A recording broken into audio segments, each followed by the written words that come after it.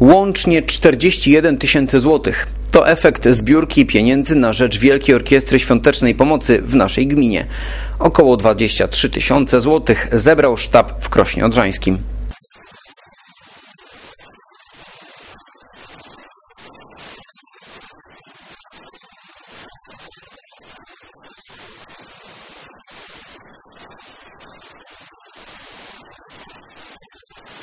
W miasto ruszyło 40 wolontariuszy. Efektem ich pracy jest prawie 11 tysięcy złotych.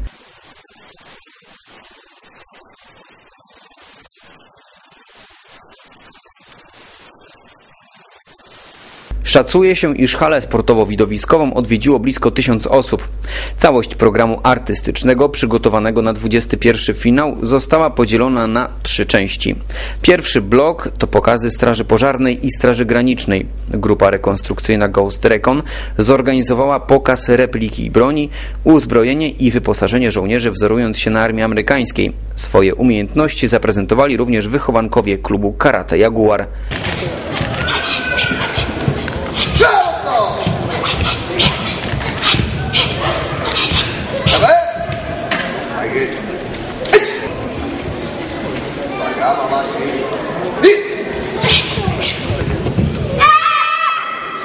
Drugi blok nosił nazwę Dzieci dzieciom. W tej części publiczność mogła obejrzeć sportowe rywalizacje przedszkolaków oraz występy uczniów szkół podstawowych.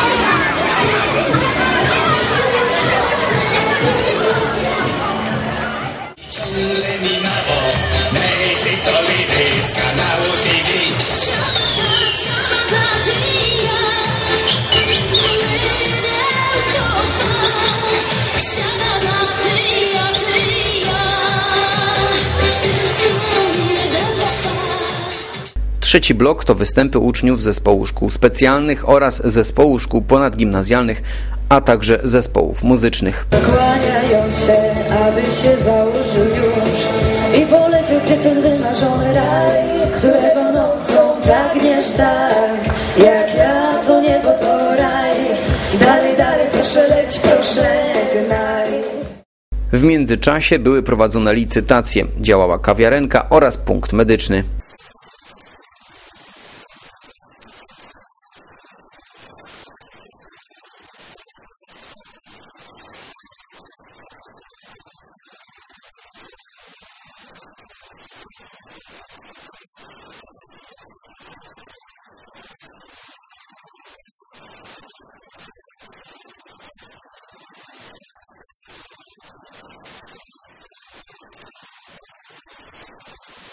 Po raz kolejny sztab WOŚP działał również w Osiecznicy przy zespole edukacyjnym, który ponownie pobił swój rekord. Tym razem udało się zebrać 18 tysięcy złotych.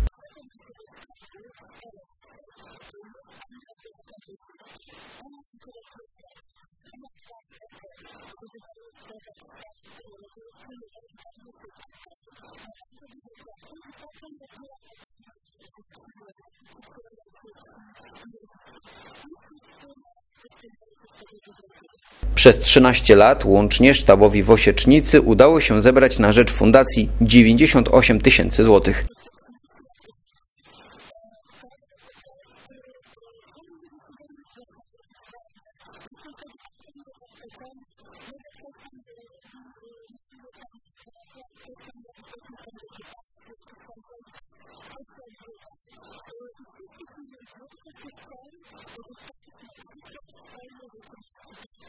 Tym roku sztab miał do dyspozycji 23 puszki.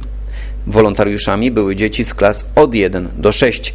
Dużą sumę pieniążków udało się również zebrać podczas licytacji. Okazją była m.in. wyjątkowa koszulka z wizerunkiem Alberta Einsteina, którą sztab otrzymał w nagrodę od Jurka Owsiaka.